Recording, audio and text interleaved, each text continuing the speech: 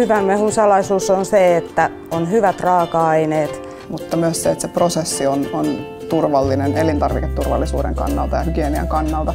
Ja sitten tarvitaan vielä semmoinen idea, mikä on ehkä pikkasen muita edellä. Työvälineet on kunnossa ja sitten ehkä se oma mielikin on ihan virkeä, niin se auttaa jo paljon sitä.